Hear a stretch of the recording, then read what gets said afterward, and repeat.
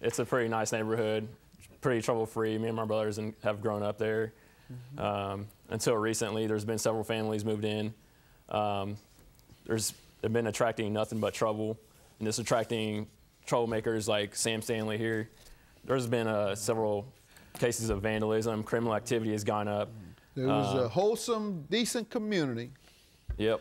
Uh, Then black folks moved in and your property values went down.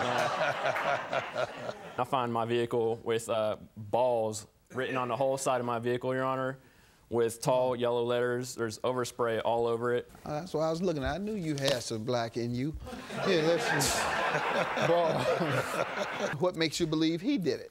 Because he's black. That's right. That's right. That's right. That's right. he got it.